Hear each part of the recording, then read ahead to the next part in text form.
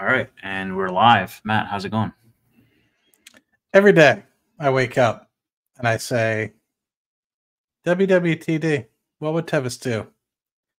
And oh, That's a he's, he's whipping out the Celsius. Uh, you, you, just a fresh crack. What flavor? Give us, a, Oh, yeah. give us the. it's, it's the dude. We we don't get enough flavors here in Canada. We get a variety pack of three flavors. I think total in Canada, I've only seen five flavors, Mm. and that's it. We don't have the you know gazillion flavors that you guys have. We're lucky we have the freaking drink in the first place. Okay, like we're we're lucky they uh, are importing it up here in the first place. So yeah, I don't I don't have. Well, I would if, um, if I wasn't wearing tidy whities, um, you know, speedo underwear, then I would go to my fridge behind me and I'd, I'd show you the the real flavors. But uh, yeah, I don't want to uh, upset people. And and if even if I didn't upset people, they'd have to pay. You know. yeah. So that's that special show. But I'll, Ah. I'll, I'll I'll reel it in. I know you try to keep it professional. I don't give a shit, dude. Honestly, uh, Tanner started talking about Shift Four. That's the best advertisement that he can make to bring people onto this podcast. I think so. um, Uh, I don't even know what shift four is. I'm out of the loop. yeah, I don't. I exactly. exactly. Oh man, Tanner does a good job over there. He does a really yeah, I good job. was just watching his stream right before. He was Really killing interactive with the with the stream. So if you guys don't follow up, make sure to make sure to do that. But we talked a bit a little bit about topics beforehand. Uh, I'll let you drive it. Uh, Bootleg Weekly. I'm excited. This is my second. Bootleg Um, Weekly. And I paid Captain Crunch to say that. So your your check's in the mail, my guy. um yeah yeah so we have a bunch of topics. We were talking about it um backstage of what we want to chat about this week. I mean full disclosure i was like out. I just got home like 30 minutes ago so i wasn't really prepared for this show. Uh, but luckily we have matt to distract you all with his good looks. Um, we want to talk a little bit about some google microsoft um, Tesla, Matt, I know you're not in Tesla right now, but still interesting what happened. I mean, I think maybe we start with that. And we also want to talk about maybe some dividends, definitely some SoFi, because you are in that, and we can talk about that. You owe But- me money. I don't owe you money, motherfucker. Like, I don't owe you anything, okay? You I know. I know, Just, uh, I'll give you shit until it gets green. Hold on. What I told you was it's going to go to 10. I didn't say when, I didn't promise a time. It's a good store of capital. I'm just giving you crap. You should buy more. On why don't you buy more? Uh, I'm, well, I told you a little bit about this backstage. I'm trying to buy another rental property, but uh, who knows what the hell is going to happen with that? Because, um, anyway, yes, buy the Rocket Lab dip. I'm I'm with this guy. Hot George knows he's uh, George he's- knows. Hot George is an avid member of the Matty Moolah channel. He knows all about it. Yeah. I haven't convinced you yet, but one day you'll be like, man, this Mac guy was right on Rocket Lab. Hey man, I hope you're right on Rocket Lab. Me too. I have about like a hundred grand in it. So uh, it's either I lose a hundred grand or you know, you guys will literally see me fly to the to Mars with Elon. So I'm the two. I uh yeah, and I really hope you're right with the Rocket Lab. That's we just, can go on that's just money. Yeah, that, that's true. I just need to do once and we could pay for vacations for like the next 20 years. every every day we have a red day. I'm just like I look at the amount that I'm losing that day and I'm just, you know, it's just pieces of paper. It's numbers on a screen. It's a social construct. Go outside. It's it'll be fine. Yeah, when when market was down a little bit yesterday, it wasn't even that bad. I think I was down like 15, 20 grand, and I was just like, I've been down double this before. It's not that big of a deal. I um so segue and then we can get into the topics. I have a friend and Well, they're they're like a I know my only one, and they're like a lifetime saver, but they never invested. And Uh, I was I was chatting with them, and I was trying to convince them to jump into investments. And what I did was I bait.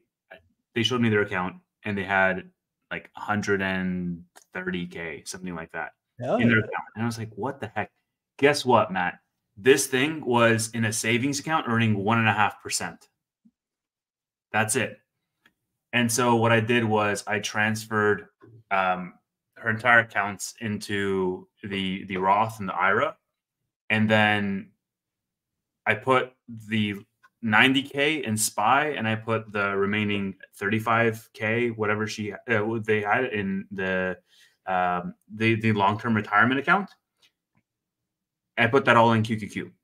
So I basically split SPY QQQ, and I was getting messages today like, "I'm down 2k. What the heck is this bullshit?" And I'm like, "Calm down. You're gonna get a dividend with SPY. Just hold it for a year plus, and it, like everything will be okay."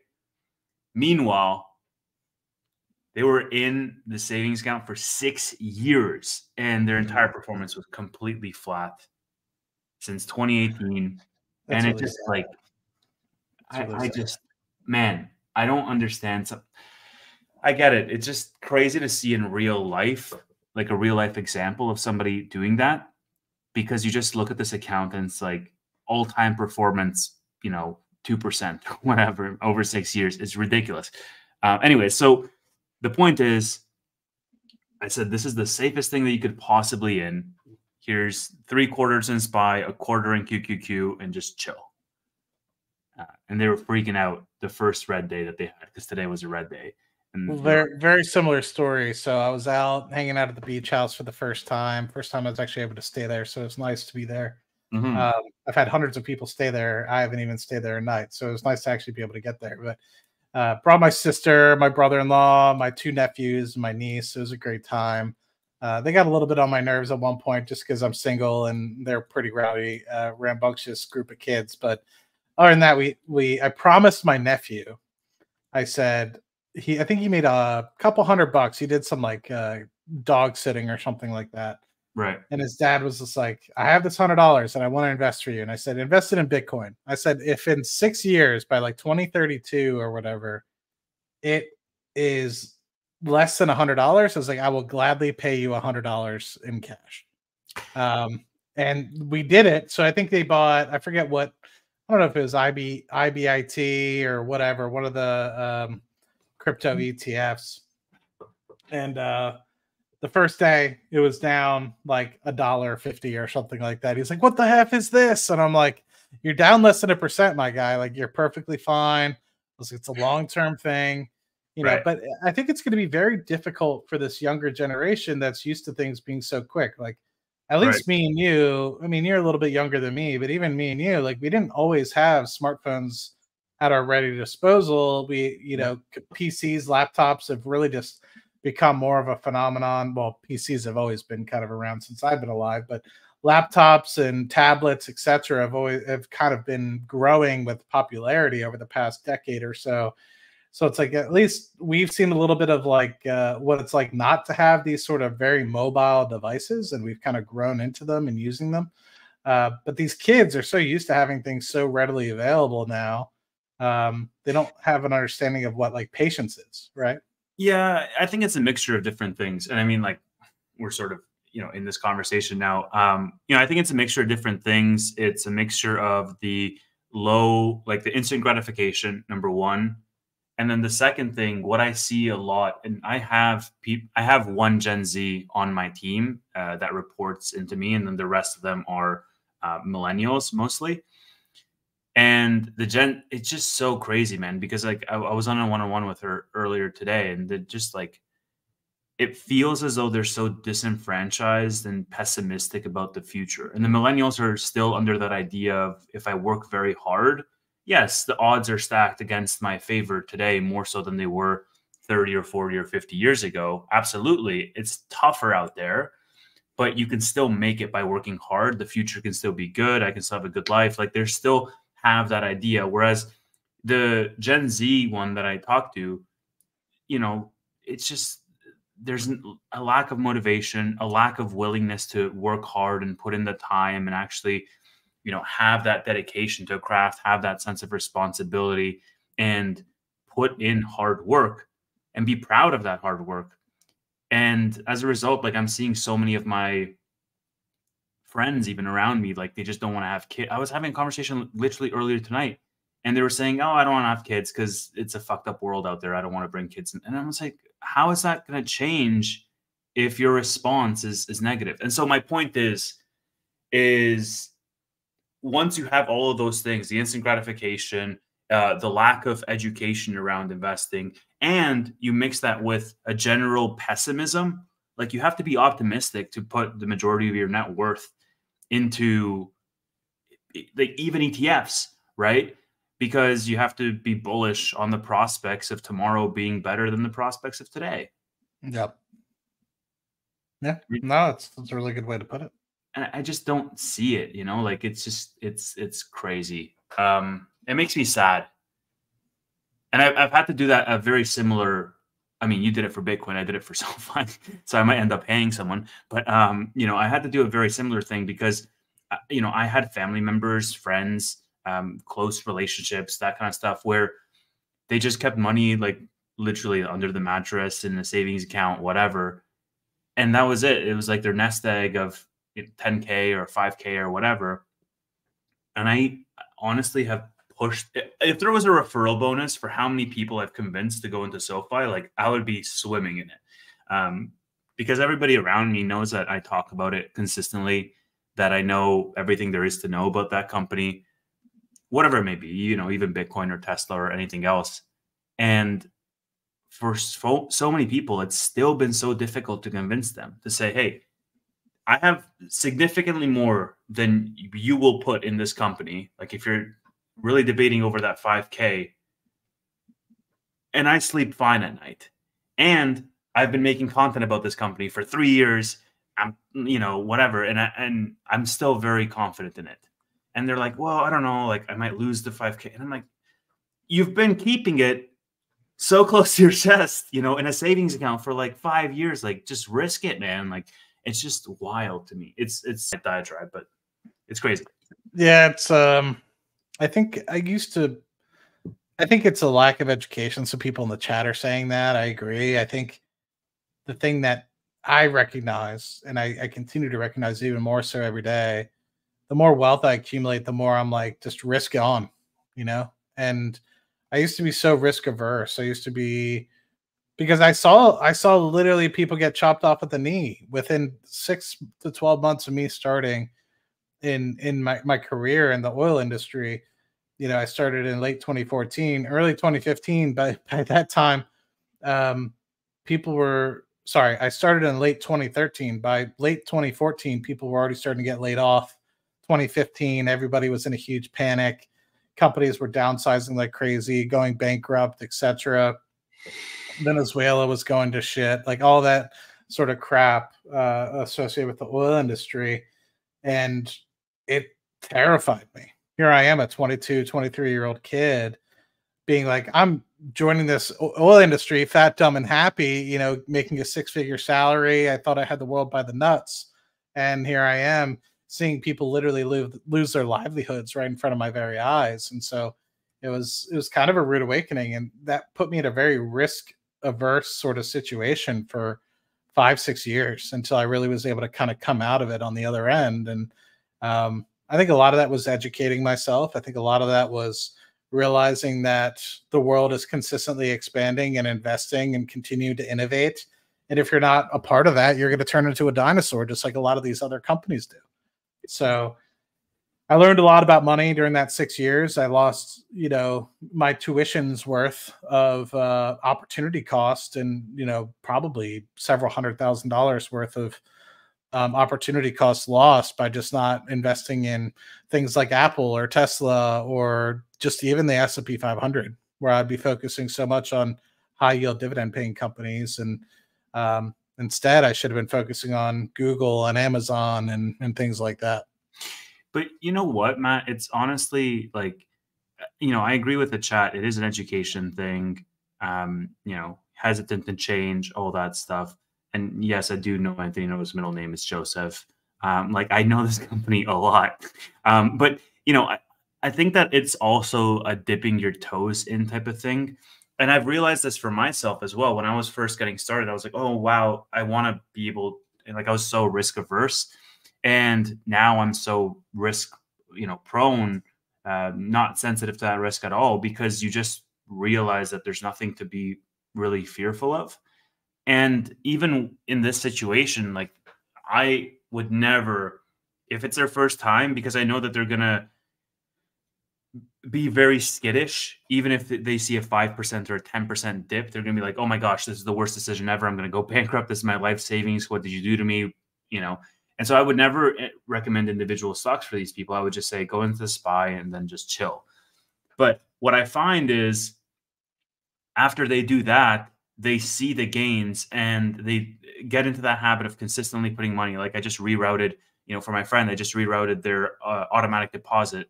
Uh, it was every two weeks or whatever from the savings account to the investment account and just have like a, a consistent investment in the SPY. And I guarantee you it's going to be the same for this one as it was for, you know, family members and other friends that I've gotten into the market. It's they get into the habit and they can see the account value slowly going up over time. They see progress. And once they see progress, then they're like, okay, they have a higher willingness to learn. And as a result of that, they have a higher sort of satisfaction overall around that education because they, they can see it in action. It's not just theory on the textbook somewhere, it's in practice. No, that's a that's a good way to put it. It's a really good way to put it. Yeah, I think you can study as much as you want, paper trade and and do all that. And I think some people recommend doing that stuff, but yeah, sometimes it literally just takes losing a little bit of money, making some mistakes, and getting that experience before you can really truly land on on your feet. And reflection, I think, is something that people need to recognize. Right, recognize you don't know what you don't know, and yeah. I think that that's something I really struggled with. I talked about this with Chris immensely last night. It was like, you know, you learn a little bit about dividends, you learn a little bit about price to earnings ratios, then you think, I figured it out, right? I figured out because you hit this this learning curve, right? Where you're like, I know nothing versus now you're like, oh, I can kind of read and and value a company kind of, right? And now you feel like because I can evaluate a company somewhat that I can evaluate all companies because all companies should be valued that way. And then you make a tumble. Co- company cuts its dividend, or it gets cut in half because of the valuations, or then you start to realize is like not all companies are valued the same. Some metrics are different than others. You know, monthly active users is important for some companies, but doesn't mean shit for others. Um, and just like operating efficiency means a lot for oil and gas companies, but doesn't mean anything probably for for some other companies that are out there so you start to get a little bit in tune with what matters for different industries and um, yeah. Yeah i mean like there's going to be a series of local tops in your education uh, local maximums you know and there's going to be learning along the way but at least you get started into that process. And i think you know to answer this question you know why do you guys care so much whether gen z is investing or not? It's because the earlier you start the better it is. And it's just there's a lot of people that i mean myself included like i got started a little bit later uh, still not late, but later than I probably should have. And a lot of that was a lack of education out there, a lack of options to learn about this stuff. It wasn't readily, you know, available. I had to go seek it out proactively. And so uh, there's a lot of people that might have the desire, but might not know the the way to go seek that information out. And by the time that they do, let's say 10 years in the future, they're going to start and they're going to get in the habit and that consistency, but they're going to have missed out on that time. And so that opportunity cost of that time, I think, is something worthy of mentioning because ultimately, I, you know, I do think it's something where younger generations have to be more optimistic about the future. Um, and that forms a foundation. But I think the main point that I'm trying to make is that just by getting started, you're almost treating it as you know this is the the first lesson. And i'm i'm iterating on that consistently and i'm learning more as i do it. It's it's it's theory and practice right? Um but with that said just so we, we don't harp on that too much i saw some people saying that uh, my recommendation to buy spy and qqq um, might have been bad timing. So i want us to pivot matt into the market. Powell made comments uh, recently on cuts and basically telegraphing that you know we're going to wait to see how the data pans out. I think January and February showed some inflation numbers uh, increasing, or the, the, signs weren't as positive. I saw CNBC last call uh, interview earlier today with Tom Lee, uh, basically saying that hey, this data is seasonal. Uh, March numbers in Europe are showing that you know these numbers are falling, inflation is still falling. And Tom Lee, I mean, the token bull, he believes that there's going to be more than three cuts this year. There's also a chance that there's fewer than three cuts. I think the market is pricing in three cuts this year. What do you make of all of it? Are we having three cuts? Three, I think, might still be tough, but I, I, I do believe there will be a cut at a minimum. Uh, I think it's just too. Um, what I think you can say is everything's trending in the right direction, right? I never expected it to go from five to five and a quarter, or I guess maybe it's five and a quarter to five and a half right now for, say, the federal funds rate in the United States. I don't know what it is up in Maple Land, but um, but uh, I never expected it to go from five and a half down to two percent in the matter of a year, right? I think it's it's going to be a drawn out process that I think even with the Fed being optimistic was going to take at least two to two and a half years. And I think that we're going to end up more in the high threes rather than say the five, five and a half percent. Um, and so uh, that that's just kind of my thought process. I I've always kind of thought that it was interesting how 2% meant 2% before and then it was kind of like indications of 2% so they kind of came off and became more dovish in that respect uh, to to allow people to maybe get a little bit more happy which is why i think we've been on such a rally for the past six months. Um, but now i think the the reality is kind of setting in that you know maybe things aren't as great as we kind of let on and maybe the the collar needs to be choked up a little bit more. But in terms of like huge reinflation numbers, I mean, I love Chris to death, Chris Patel, but he's trying to fear people into thinking that because oil prices went from 80 to 85 dollars a barrel that inflation's going to start skyrocketing in the other direction i think it's very much like a an interesting topic. If you look in the past year, which is what CPI is based off of, right? The last trailing 12 months, year over year sort of inflation numbers, oil was still at 84, 85 dollars a barrel for WTI. So it's not like you're in a massively different state than you were a year ago. Yes, when it comes to the April May timeframe, um, maybe it's more like the May June timeframe. Oil prices did creep down into the low 70s but they didn't stay there for very long. In the summer time frame of last year, oil crept up back to the $90 range.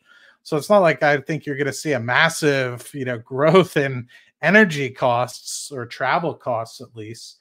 Um, you know, from an oil and gas perspective, natural gas is still, you know, at a very, um, very long-term low, below two dollars in MCF, which is what it was back in like the 2012 2013 timeframe. So that is still really really cheap. So it just doesn't make sense why people are thinking that from an oil and gas perspective things are going up. I also have seen rent and housing come down slightly.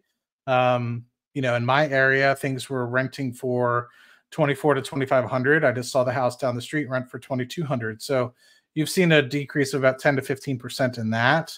Um, you know things have kind of come back to normal. And i think not to say that they won't kick off again when you have interest rate cuts but i think you know it really depends on what you're looking for. I also st- saw that the gentleman said that probably the wrong time to buy spy in the Qs. I mean maybe but if you look in historics even at tops generally speaking within two years even if there is some sort of large recession pullback in the market etc of say 20 to 30 percent within that next two years you're back at all-time highs or above. Just look at what people are buying in 2021 you know people were probably saying up oh, all-time highs. And yes we had a 20 to 30 percent um, you know decline in 2022 but guess what?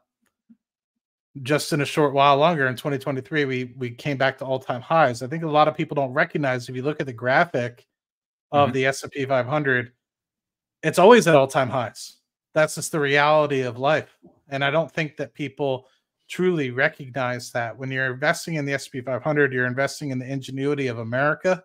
You're investing in the fact that uh, you know these companies are going to continue to grow. And if it's not Apple, Google, Amazon, it's going to be some other company like Nvidia that comes out of nowhere and grows quadruple or quintuple its market cap within a matter of a couple months. So um, I think a lot of people just like they like I said earlier, they don't know what they don't know, or they're too short term focused. Yeah. I'm more of a person that looks at things on a 10 year time horizon. And uh because that's what I do. Oil and gas, these projects take me five to 10 years to really get moving. So, you know, that's just what I've kind of come come used to. So when I make an investment, it's generally speaking for the next five to 10 years. I saw and first of all, you had a slight twang in your voice when you said America. You're like, America? Yeah, um, America, baby. I did pick that up. Uh, the second thing I picked up, you know, I, I saw this interesting uh, statistic which had looked at all of the markets where the S&P 500 was up 10% in the first quarter of the year and in every single one except for 1987 it closed higher at the end of the year and so we're going into an election i think somebody did mention it here hold on uh, you know election year always a good time to ride the market up I think with regards to the macro in general, you know, oil has other reasons to be jumping. I think there's some seasonality there. I mean, there's geopolitical events that are happening around the world that are affecting oil prices. And, you know, there's a fear around stagflation in general, where if inflation goes up and we have to maintain the rates as they are for longer. Um, you know, there's going to be fewer cuts.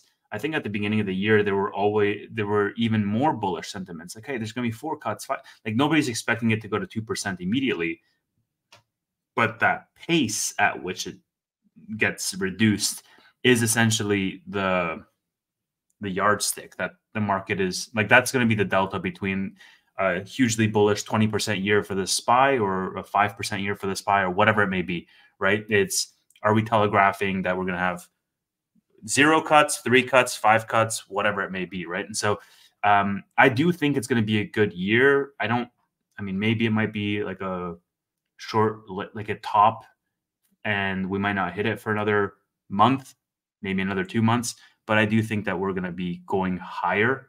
Um, and that all of these macro fears, so long as inflation still tracks down, which is the main thing, right? Like that's the main reason why we had this pullback. I think the pullbacks are healthy as well. Like I started, and I know I know you know this, Matt, but you know I started my dividend portfolio in the beginning of mid January, and right now I'm like kicking myself, saying, why didn't I do this years earlier?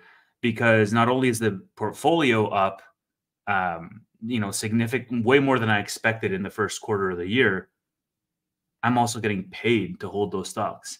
And I'm not so naive to think that I'm a genius for picking the right dividend stocks. It's just the whole market as a as a whole has been going up. If you look at most stocks from January into now, like that's just been going up. And of course, a pullback is normal in those circumstances, right?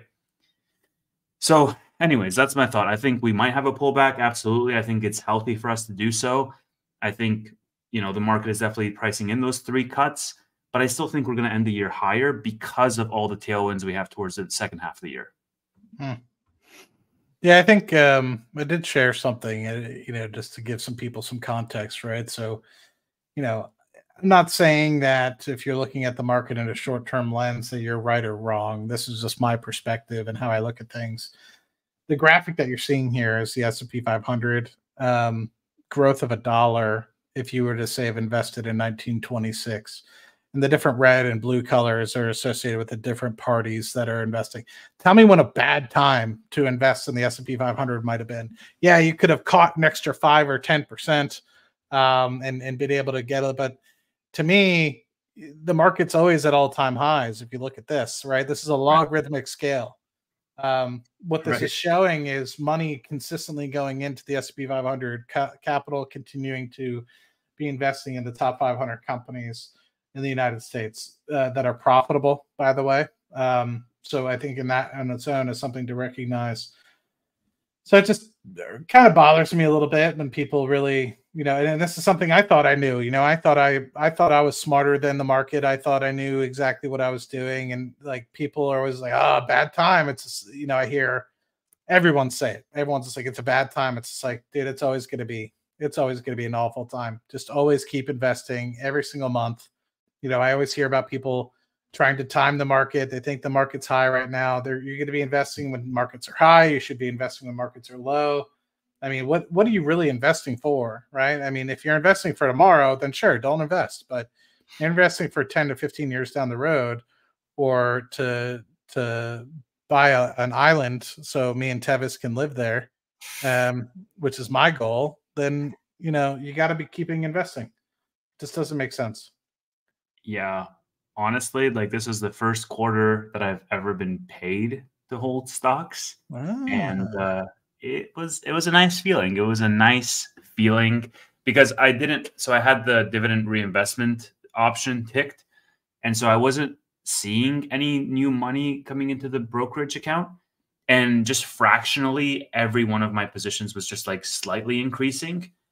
And then only when I pull, and so to me, I, I thought, like I didn't know I didn't have alerts on for when the dividend came in, nothing. Just and so at the end of the mm-hmm. month, you know, I said to myself, "Oh, like I don't, I haven't even looked at the difference. I haven't even, you know, monitored this thing." And I pulled the report, and I was like, "Holy, like there's, you know, 500 bucks extra here." That was a good feeling. It was a good feeling, and it's just it gamified the experience for me. It made me want to put more in and you know measure the growth of that portfolio in terms of saying like oh this is what i want my return to be per year so on and so forth. And i don't know It's just like i think the thing that really excited me maybe five years ago about the market like just going in was finding that 10x and that was like the really sexy thing to do. And i think the thing that is starting to excite me more and more is that snowball like that compounding snowball aspect of saying like, oh, I can see the month over month of like what the REITs are paying, and every single month it's a little bit more, a little bit more, a little bit more because of the reinvestments, because I'm consistently putting in, you know, every week, every two weeks, I'm putting in more money in those accounts. And that's exciting to me now. It's exciting, but I because I came from that world, I would just be cautious. And I think I've had this conversation with you, but I'd like, you know, you're bringing it up, and I think it's a a good thing to maybe bring up to the public and, and your audience because nobody follows me, but 100 people are following you here today. So, um, but the the the thing that I always recognize is that it's it's addicting, right? That ability to have that snowball that you know that gentleman just mentioned is is really something that you're like, ooh, I can. It's tangible. I can see it. I can see it coming into the account. That's very addicting. I get that the thing that you have to recognize is discipline. And this is, you know, you say the same thing about options. You could say the thing, same thing about dividends is discipline in making sure that you don't overdo it, right? Look for the companies that are innovating, but are also throwing out a dividend. Companies that are still reinvesting in themselves because you can invest in companies. And I love Steven to death, but companies like Altria Group, for example, you know, they're giving away you know as much as they can to the shareholders in the form of dividends the capital appreciation just isn't there right and you know i could argue with with Steven about that back and forth. If he ever comes on the show i'll gladly do it. But you know i like to find the sweet spot right? I think meta will probably do okay. Apple's done phenomenally. And people are like oh well apple doesn't pay much of a dividend but it's like they're they're probably the largest dividend payer on the planet um, maybe other than Saudi Aramco. And the reason being is even at a 1% yield, it's a $3 trillion market cap. So they're still paying $30 billion a year in annual dividends. The reason why it's 1% is because the stock has grown so fast so quickly. But I think the, the thing that you need to recognize is like if the company is not innovating in itself and keeping up with the times, that will become the GE of, let's just say, 2024 and you know top 10 companies a lot of times fall out of favor for a reason they become mature they pay dividends they don't reinvest back into themselves they don't continue to innovate And that's what almost happened to Microsoft. Microsoft is a key example as to what happens when you don't innovate. Almost and then, Microsoft. Yeah. And then if you turn around and you start to recognize you need to innovate back into your organization, obviously they kickstarted everything back up. And now they're arguably, you know, one of the most valuable brands in the world. Um, you know, besides Aramco or maybe Apple, but some I guess right now they're probably larger than Apple. They're probably the largest stock in the they New. York Stock Exchange. So, you know, it's a Microsoft is a beautiful example of yeah. what it's like if you just flounder and you don't reinvest in your company and you focus so much on buybacks and dividends and etc. And then he had luckily Satya Nadella come in and say cloud is the way. And so there's there's that. I want to touch on both of those because Apple and Microsoft are two large positions in the dividend portfolio. Apple is the biggest position in the dividend portfolio, and Microsoft is the third largest position I have in there right now out of the total 24 positions. And it just feels like one of them is absolutely killing it, and the other one is just getting killed. Um, I don't know which one we want to start with. Maybe we start with Apple because there's less to cover there. I do want to jump into the Stargate news because I think it's really, I mean, Satya Nadella, CEO of the year, man. Like, uh, or, of the last trailing 12 months, like everything that happened with the whole Sam Altman uh, thing and just OpenAI, his recent comments about OpenAI, like, you know, we're on top of it. We're all around them. We own all of that uh, IP and how they're going to integrate Stargate. We're, we're going to talk about that. I think Apple right now from the outside looking in, it just seems like they're stumbling to find footing. I mean, did you see this recent news today that um, Bloomberg reported that they're exploring a home robotics project as the next big thing after the car division was essentially disbanded? Uh, so, engineers at Apple have been exploring a mobile robot that can follow users around their home. I mean, this is coming at a time when, like, we've just been seeing so many Apple news in quick succession. Like first of all, the car project, um, the DOJ cases, the, the the Vision Pros, and the the weak sales in China. Um, so many pieces of news, like the whole Gemini, like Apple using Gemini as their AI engine. They bought an AI company, uh, a Canadian AI company, and it just seems as though, like I think today, even the Apple Store, uh, the App Store was down along with some other services. I don't know, man. It just seems as though there that's being priced in. I think Apple's the worst performing of the the four mega caps: Microsoft, Amazon, Facebook, and Apple. Like they're down year to date. Um, but they're probably the last so far in that race for AI in that race for innovation. You know, I think Amazon is killing it. I think Microsoft is definitely number one. Google um, you know, I know we talked about the the Gemini being woke and all that. I still don't like. There's no, there's been no evidence to disprove that, but they're still making moves. They're, they're. I mean, even with the news that we had earlier today around them charging for some AI features, we can talk about that. And so every company it seems is making moves, but Apple it seems is struggling, and their roadmap is unclear from an AI perspective. How are they going to innovate? You know, what I'm looking at, and I've been adding, I mean, what I've been looking at is the WWDC event. And don't forget, like Apple just buys back a ton of stock.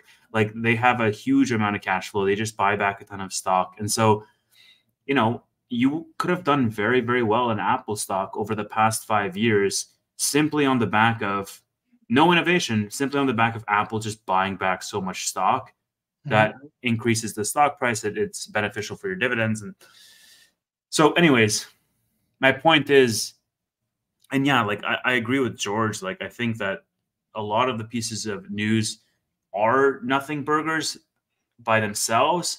I think the wider question that it brings up, at least in my mind, I'm not sure about the wider market, is what is that cohesive vision and where are they going? Like, where are they going to land in this race? They don't necessarily have to be first. I don't think they've ever been first in a new product launch. They've just done it better. They've come in second and they've improved on the gaps that the you know first place or new entrant has had, I don't know how easy that's going to be with AI because AI is so much faster paced than anything else. Number one, number two, we don't really have a clear vision for Apple right now. Like all we know is the the stale, uh, you know, stagnating sales for their hardware. I don't know where their innovation is going to come from, essentially. So once, of course, we have that direction, I'm sure the stock is going to rebound. It's the you know I think largest held uh, stock like, across the world. But I don't know. What do you make of all this? What do you make of Apple sort of stumbling their way into 2024, the stock being down, um, and their roadmap being unclear? I think um, so. I'll just be blunt. Um, I've been wrong on Apple for going on a decade.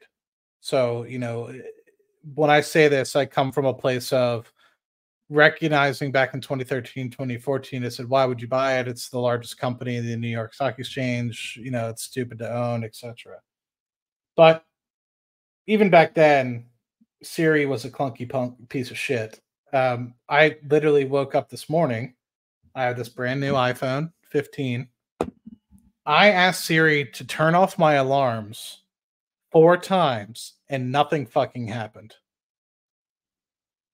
so the fact that I hate to say it, right? Like I, I love the product. I use this phone every day. Um, you know, I've been I had my iPhone XR for six years until I just recently got this iPhone. So in that respect, you know, the product works good yeah. enough. Yeah. But to mean you mean to tell me that we're in 2024 and you can't even get Siri to turn off my alarm um, is pretty sad right? Even my iPhone XR had the ability to, and it, it took a couple times most of the time, but if you're talking about having robotics following you around the house when you can't even have Siri turning off your alarm, it's pretty pathetic.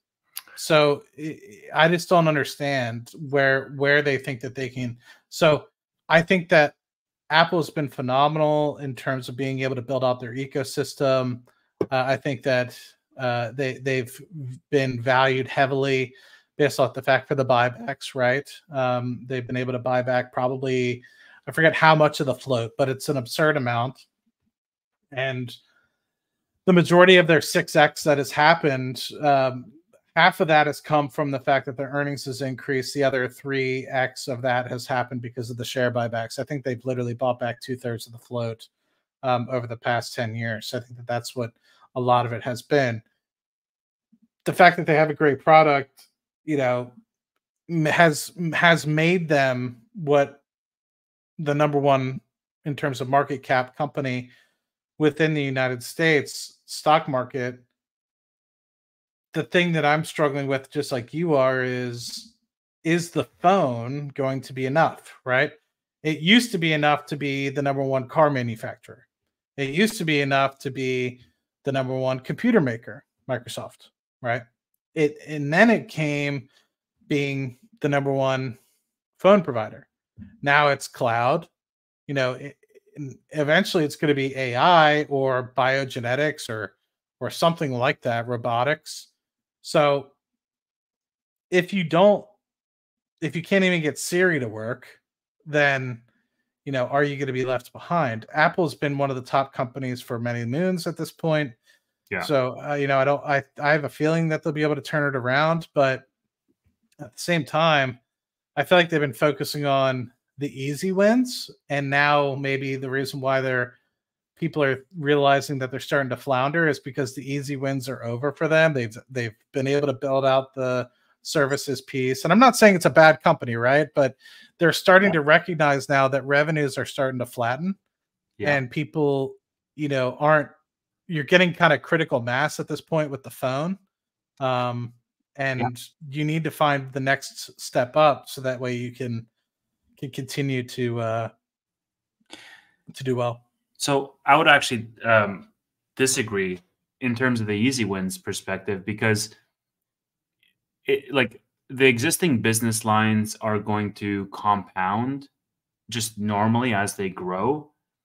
But it feels to me as though Apple is just going for, you know, knock it out of the park home runs and failing. Like the easy win from purely an innovation perspective would be fixing Siri, would be, you know, doubling down on the Vision Pro, eh, figuring that out, and not scatterbraining on all of these interesting projects that go nowhere.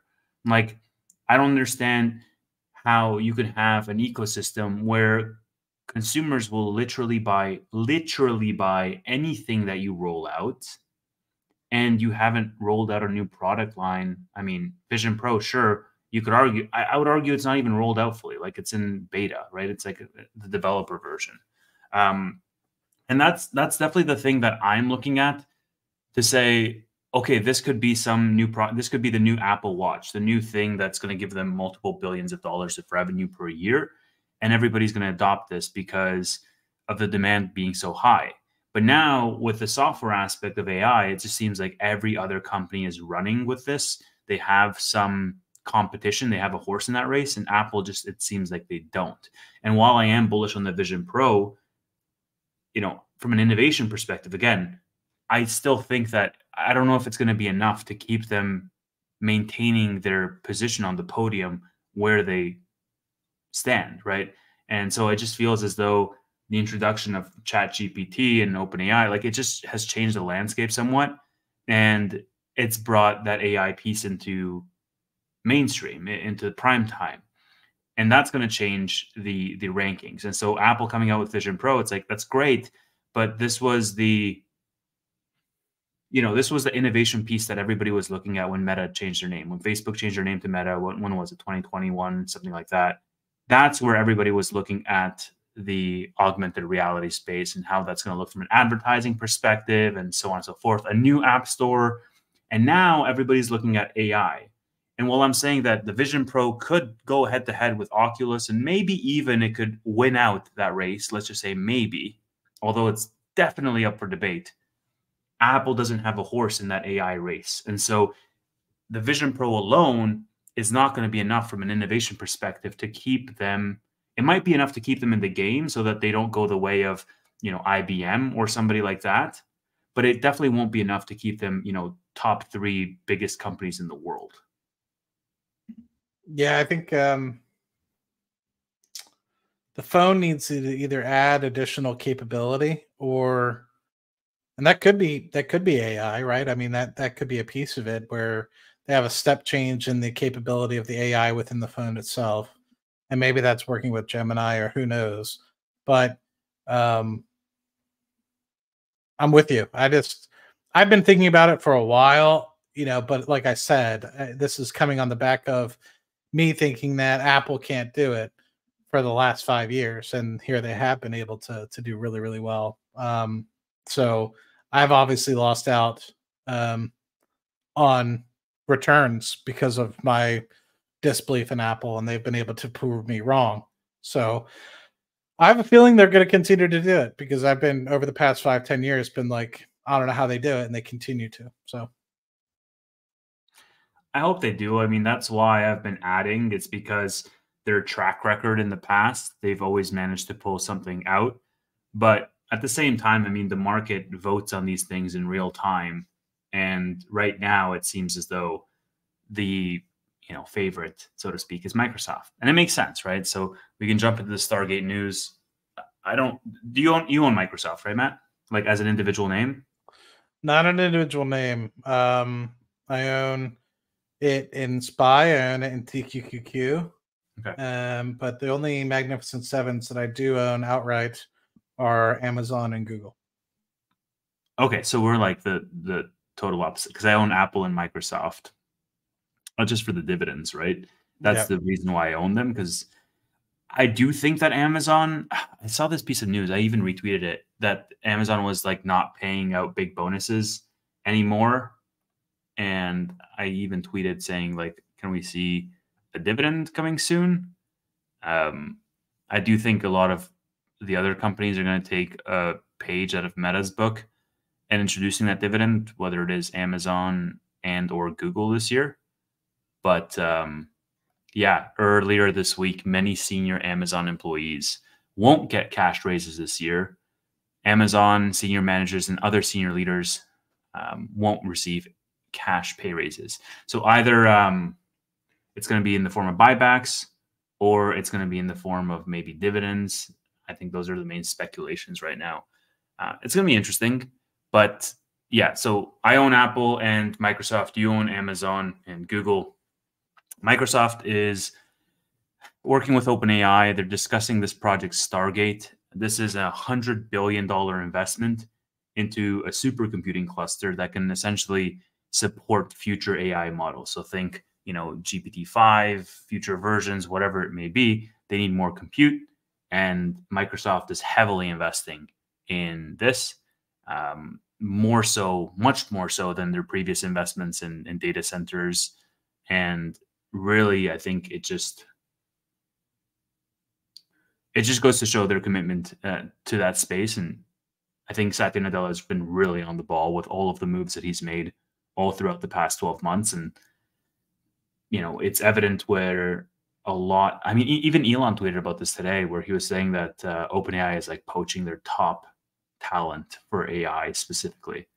Um, so just just wondering if uh, you have any thoughts on that. I know you don't own them, but just curious. I don't own them, and I think they they do a great job, right? I, I think it's remarkable how they've mm-hmm. been able to continue to grow their cloud platform by thirty percent per annum, um, and I feel confident that they'll be able to do well because their upselling ability is absolutely phenomenal. So going from just something like Power BI being released, you know, however many moons ago, to right. now having Office 365 as a subscription model rather than having to upgrade every year.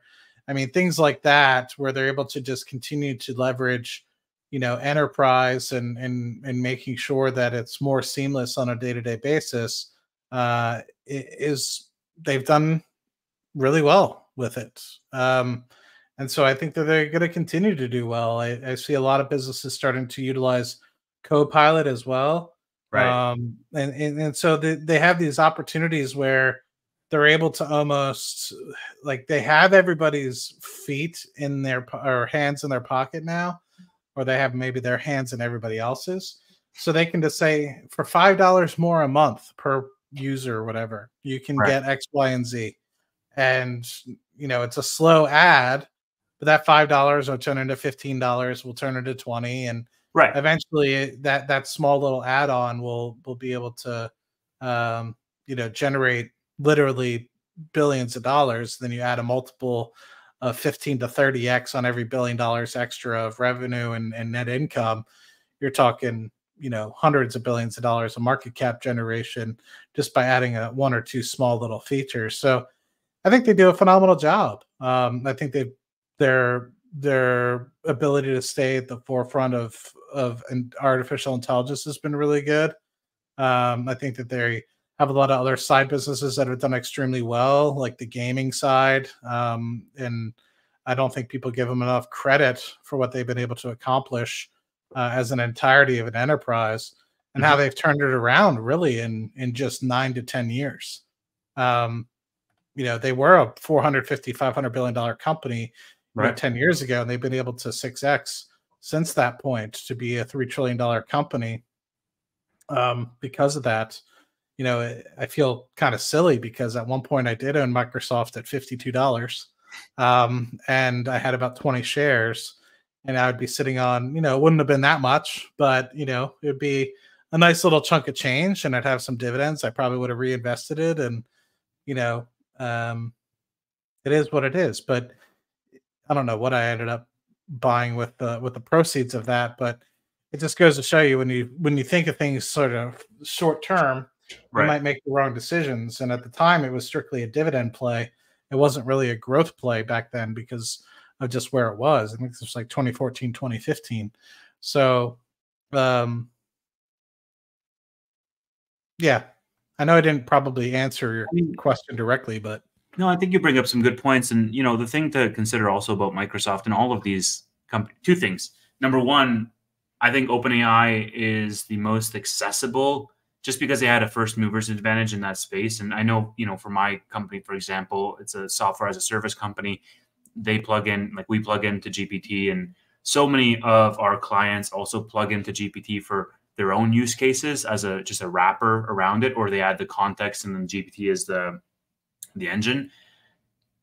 I think they have everybody's feet to the fire to be able to raise that price consistently because people like there's an opportunity cost, there's a sunk cost there essentially of people going into their tech infrastructure again and then rerouting this with uh, something else. There's also nothing else quite mature enough in the market to be a direct competitor right now. Like Copilot has its own use cases, I get it, but it's not as mainstream as GPT is. And so Microsoft have a real first movers advantage with regards to that. Number one. Number two is you have to consider their ecosystem, right?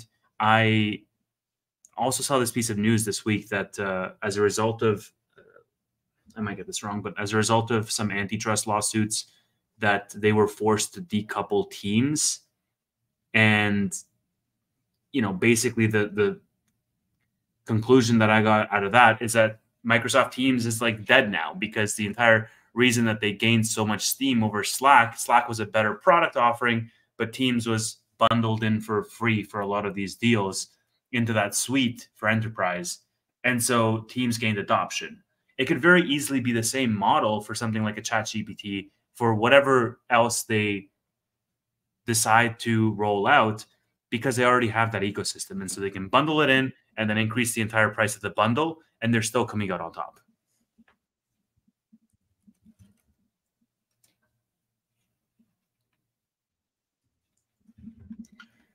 Not wrong. Okay. So um, you did mention something interesting, though, which was the increasing the price of the subscription, starting with five, going to 10, going to 15. And the reason why it's interesting is because earlier today, Google, um, an article dropped that Google was considering charging for premium features powered by artificial intelligence. Um, that would be making a shift into its business model for search. So, my understanding is that essentially, if you want to have an AI powered search feature, it would be like a uh, subscription service that you would pay Google.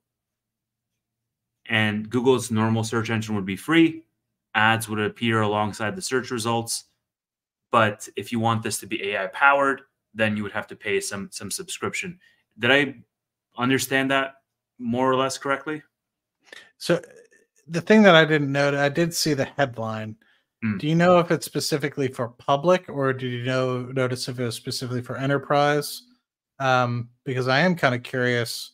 I could see where, you know, having an enterprise might be more uh, useful to do something like that, um, and especially if you can integrate maybe some more proprietary stuff. I mean, this is a lot what like Palantir is doing with with their artificial intelligence platform or AIP, which is like you're able to kind of couple proprietary um, models within your organization with more public data like weather and other traffic patterns that might be useful for say logistics to help you.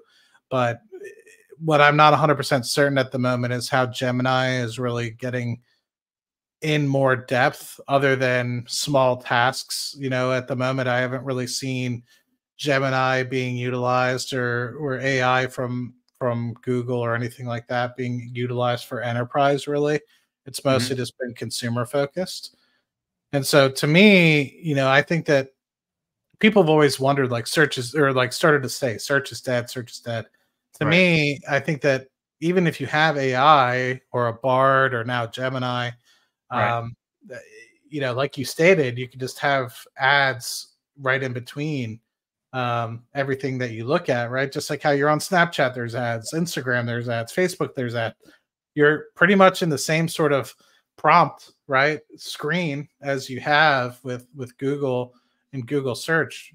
What's to say that there's not going to be advertisements within there, right? Just like right. when websites first came out, they used to just be big blank white canvases. Now they're coupled with massive amounts of uh, banner ads and stuff like that. You can't escape them. So this is going to be a different means to be able to get advertisements. So to me, maybe you could have like a uh, YouTube Premium has been something that's really taken off. So maybe there's like a a Gemini Premium that doesn't have the advertisements, and maybe that's something that people will be more willing to pay, you know, for for no advertisements, and they they don't have to be bothered but I wouldn't be surprised if, you know, the way that Google search works right now with advertising that Gemini is not going to be the same exact way within two to three years. Well, so remember, I mentioned the ecosystem effect, and that's very prevalent in Google. I think this article from Financial Times or whoever reported it was also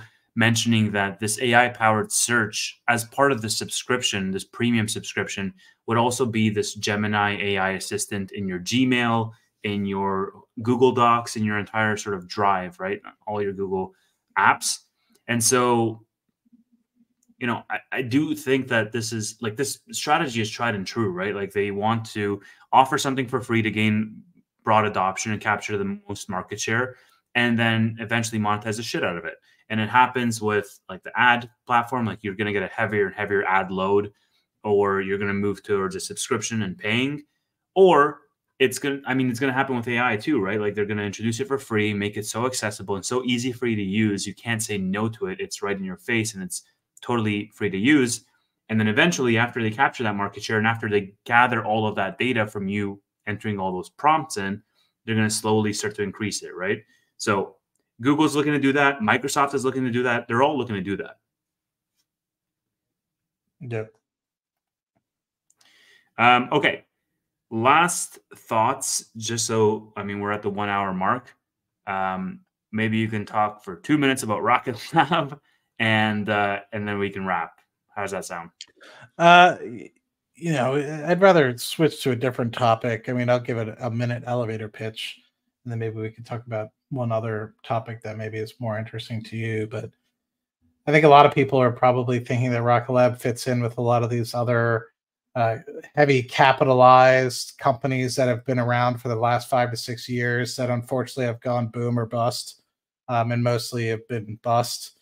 Um, Rocket Lab has been successful in launching small launch vehicles since 2017 timeframe. They've been around since 2006, um, and has continued to to utilize capital from their SPAC period to uh, uh, acquire multiple um, space systems companies like solar um, trackers, satellite creators, you know, etc. And they've they've done a really good job with it thus far. And if if anybody is going to be successful, these guys are the number two in the space in terms of um, being able to launch. Um, they've launched 46 uh, successful uh, rockets to space. Not all of them have been successful operations, but they've had 46 successful launches uh, at this point. And so, um, you know, almost 200 satellites deployed to space. You know, they do a pretty damn good job of it. They're on the precipice of of testing some of their medium launch capabilities, which is going to go head to head with the Falcon 9.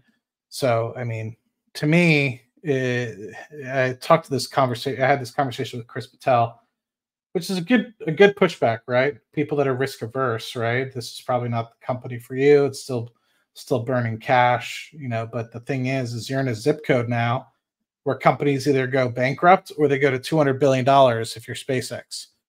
Um, this is the second most successful of these companies, and it's $2 billion, maybe even less now.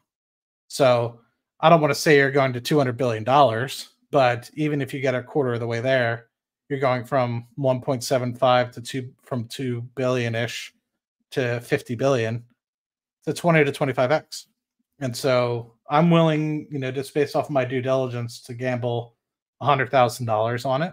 And I feel like I'm going to be very successful.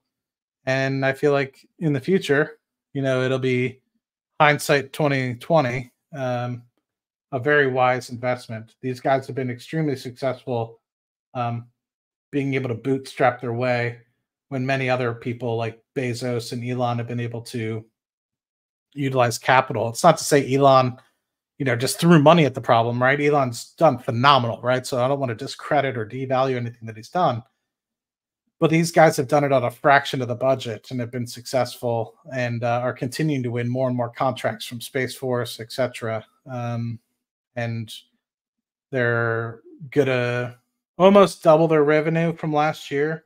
And next year, once they get Neutron up and running, I feel like they're gonna almost grow it by about 200%. So I'll just stop there. But um, anybody that's risk averse, stay away. There's a lot of capital exposure still, but within the next 12 months, um, I would anticipate you'll start to see the company either be uh, EBITDA break even and eventually get themselves to a place where they're they're cash flow break even, and then the stock price will really start to move within the next 24 months. I think that was a great pitch. I mean, very concise. I mean, you laid out the opportunity. Um, do you want to have one last topic? And if so, you're choosing it. Oh man, uh, tell us about your fancy dividends. Yeah, I mean, I've been talking a little bit about throughout, but it's the portfolio that I've been investing the most actively into. I feel like if I don't have that habit of consistently putting money in the dividend account, then I would just be buying SoFi and Tesla so much more heavily. And I don't think that's necessarily healthy with the position that I already have in those companies. It's a huge percentage of my portfolio. And so the dividend is something that it's good habits for me. It's good consistency. I like to get into that rhythm of, you know, every couple of weeks you're buying uh, these dividend companies. What I'm finding right now is that there is some slight bias that is playing a role because I find myself adding to certain companies that I like more. And so as a result, like I get skewed and the dividend yield uh, gets affected by that. And so one of the things that I'm coming back to is trying to add consistently, regardless of the name, just equal share across the board. And on what day is it today? Wednesday? I think on Monday, uh, I put I bought like you know seven or eight companies in that dividend portfolio. I just bought more of them, and that's what I'm going to continue to do. Like whether it's red or, or, green or whatever, I just wanted to get in that habit, and um, yeah, I, I think it's like I said before, it's something that I'm getting more bullish on. It's gamified in my mind, and it's exciting for me just to see the progress I'm making. You know. Mm.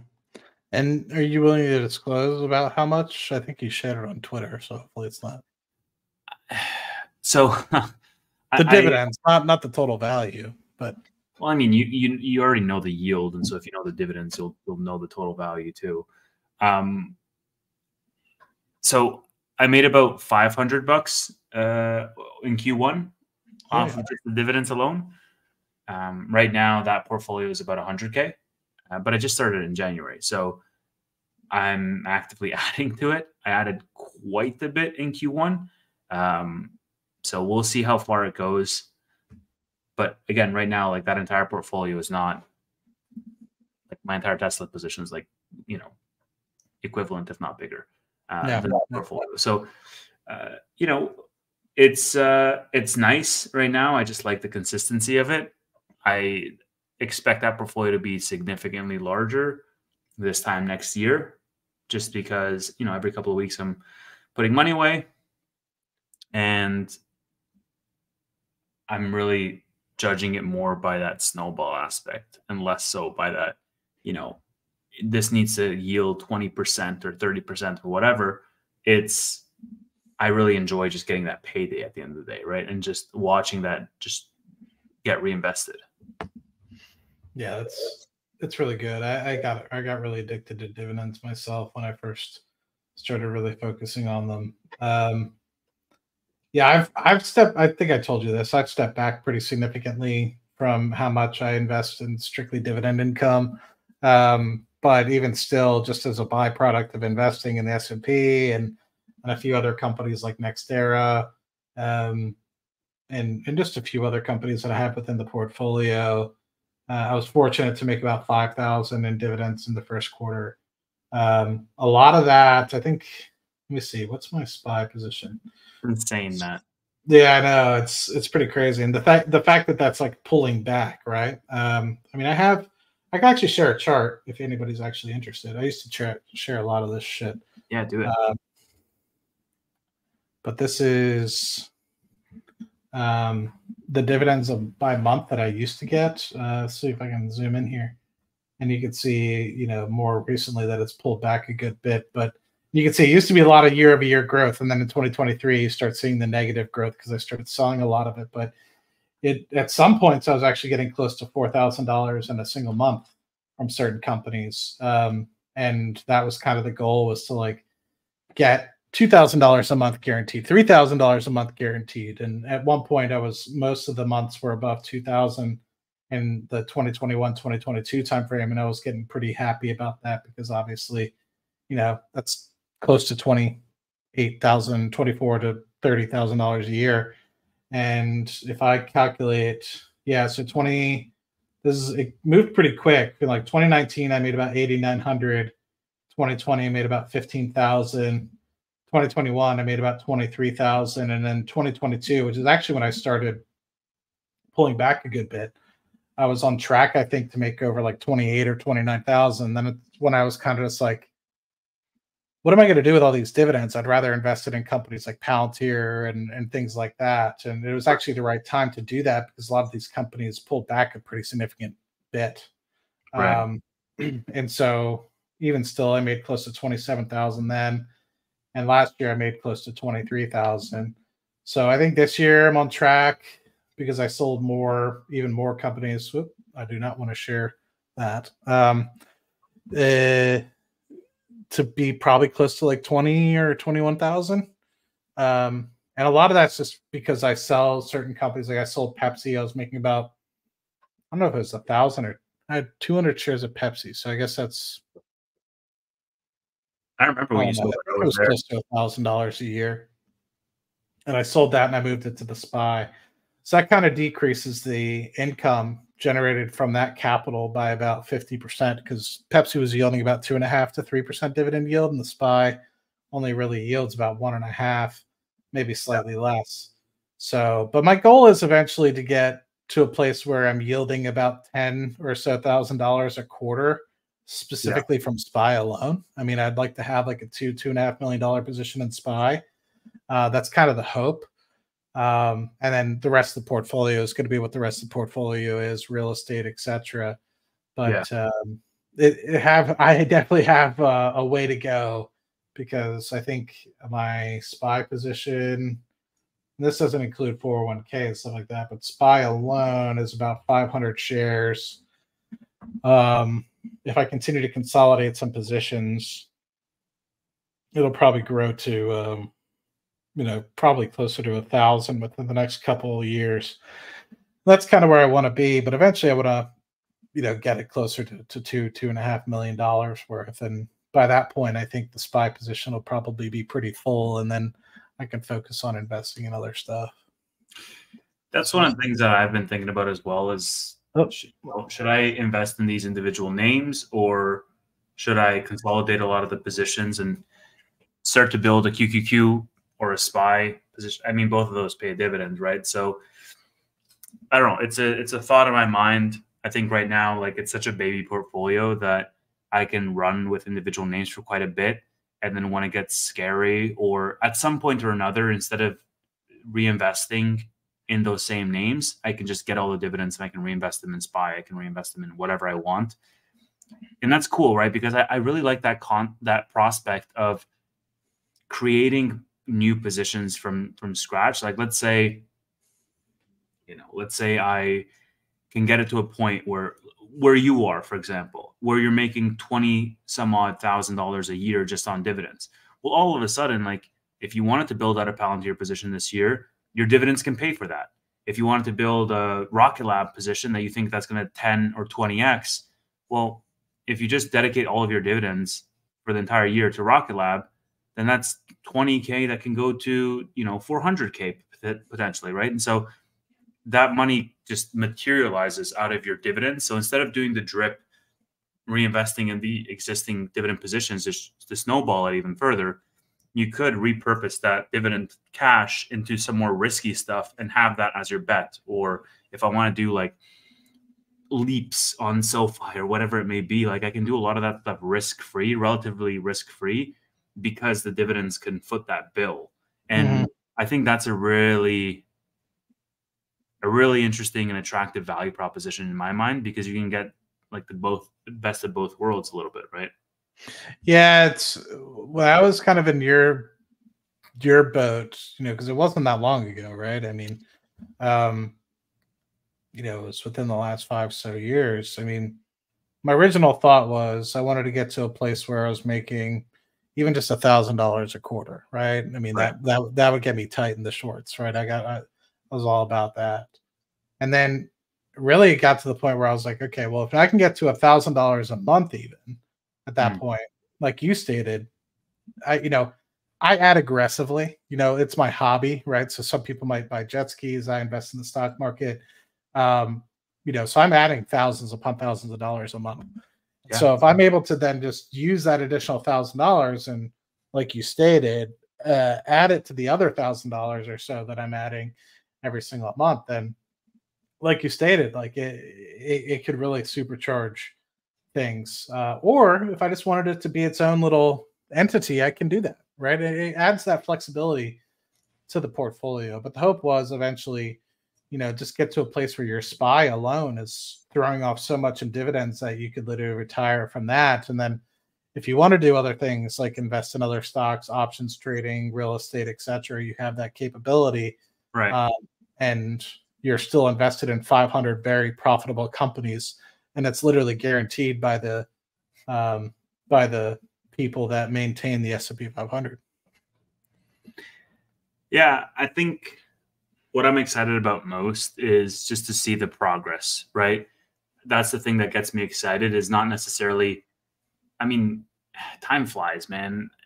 I still feel like I'm just getting started in investing and I've been in the market now for like 6 years, 7 years, which is crazy to me because that that blows my mind alone. Uh, I feel so old. And the thing with this dividend portfolio I just say, okay, well, I'm going to put in as much as I can this year. And I want to see how much I can manage to yield, right? If I am making, you know, let's say 500 bucks in dividends this first quarter, my goal is to make 700 bucks in dividends in Q2, 900 bucks in dividends in Q3, a thousand bucks in dividends in Q4. That's going to require me aggressively depositing money, but it's like, hell, I've already been doing that. And I would have done that regardless, whether it's in SoFi, Tesla, Celsius, whatever, or whether it's in the actual dividend account, it doesn't really matter. Mm. But it's also a way to become more risk averse and feel more comfortable making a lot of those aggressive bets in the growth portfolio because I know that I have like a almost like a compounding machine on the side that just goes regardless of my actions on the growth side of things. And so I can split that focus a little bit and I can still have the consistent habit of reinvesting. I mean, a lot of people just do this in the SPY. They buy a little bit of the index every month. You know, I select 24 different companies and I buy a little bit of those every month and I can switch in and out of them, sure, periodically, but that keeps like the money's going to go into the market regardless. Um, it's it's going to happen similar to you. It's it's a hobby. It's an whatever you may call it. I live fairly frugally, you know, I don't do any extravagant shit. I go on vacation whenever I want to go on vacation. Um, I go wherever I want. I don't really care about that, as you know. But when it comes to everything else, like I don't have like an extravagant, expensive lifestyle. And so the money's going to go into the account regardless. By having the dividend account there, I have a safe avenue to deploy that money so that I don't force myself to always go so deep, so heavy. Like I don't want to have, um, you know, a half a million dollar SoFi position or whatever it may be, because it's just you get to that place where it's so concentrated into you know one or two bets that mm, I don't know. It's just it's really. cool. Yeah, I think the the beauty of it is is something as simple as this, which is like your run your run rate's about two thousand dollars a year at the moment without any further investment, which is badass as fuck, right? So let's just say you get five percent. You let's just say you have a five percent yield. I know you might have less than that. And I know most of the stocks that you're invested in, but let's say you have a five percent yield. Just by reinvesting in that um, two thousand dollars that you're going to get, you're getting an additional hundred dollars a year in dividend income, which is pretty badass if you think about it, because you're just reinvesting two thousand dollars, you're gonna get additional hundred dollars uh, a year in annual income. But then also, generally speaking, a lot of these companies they're investing in are aggressive um, dividend raisers, and yeah. that alone they'll they'll likely raise five to ten percent. But let's just be conservative and say it's another five percent. So that alone next year with just reinvesting your dividends and without any adding any additional capital coupled with the dividend raises you're going to get you're going to make $2200 a year just in dividends just next year um, without even having to really add any additional capital to the portfolio and that's part of the beauty of it is like it self feeds itself to an extent where i don't think people really recognize and then you start adding up say you yeah. get to the twenty thousand dollar a year range, now you're talking about going from you know twenty thousand dollars a year to twenty two thousand without any additional capital, right? I mean, that's an additional couple hundred bucks a month that'll pay for a cell phone bill, that'll help pay for a car, that'll help do whatever. Yeah, it's, it's really, like, well, uh, really like hell, man. Twenty thousand dollars a year pays my rent in Toronto. Yeah, you know what I'm saying? Like, and then I just think to myself, my career is at a place where I'm still compounding what I bring home every year. Like every year, I have a goal on myself to bring home more in take home than I had the previous year. Every year, I've hit that goal. And I'm sure as hell I'm going to plan to hit that goal this year as well because of all the other things I do. Like I work multiple jobs and I do this on the side. And you know, all of that, all those efforts compound. And so I think to myself, okay, well, what if I could get to a place where, you know, my dividend portfolio pays my rent and all of a sudden I reduce that expense. And by that time, I'm even making more money. Well, then all of a sudden you're not depositing 70% of your take home to the market, you're depositing 90% or, or whatever it may be. And so it snowballs really heavily because you're you're tackling it from two sides you're increasing your passive income while at the same time reducing your expenses, while at the same time increasing your active income. And it's just, you know, that's the really exciting part for me because, I mean, again, for me, I just want to see progress. And that progress is exciting because it motivates me to work hard, harder, because progress begets more progress. Hmm. You're an impressive man. Is that, is that an appropriate place to end it? What do you think? I think so. I think you did a good job, man. Um, 20k rent a year for rent. Tevi likes his nice, nice apartment. It's yeah, it's like right in the heart of Toronto. I can literally see the CN Tower from my window right here as I'm looking. Um, it's Toronto prices are fucking bananas, and yeah, that's just how it is. If and when I move to the states, that's going to be less. Um, but first of all, somebody has to sponsor my ass to get to the States. So you guys feel free to reach out to Anthony Noto. Uh, I'll fly down, do an interview with him, and then I'll also hand him my job application uh, for product roles. Everybody, this has been the Bootleg Weekly podcast. Follow Matt Money. He has a channel. I think you go live every night with Chris on Cashflow Chronicles. Uh, not not every night. We try. Um, tonight I did Bootleg Weekly, and I think uh, I think we're trying to give a little bit more pace to mm the uh, to it. So I think we're going to try to do two nights a week, uh, Tuesdays and Thursdays, unless Chris uh, wants to bug me more and and do more, which I'll always welcome. But um, either Chris is on a vacation or I'm on a vacation. But uh, yeah, we did one last night, and uh, we're we're in the process of monetizing a separate channel, um, which should hopefully be in the next week or so. So Matt, it's genuinely always a pleasure to have you on. And yeah, man, we gotta we gotta we got a plan. You know what I'm talking about. We got a plan. Yes, sir. Thanks everybody for watching, and I'll see you next week. You guys have a good night.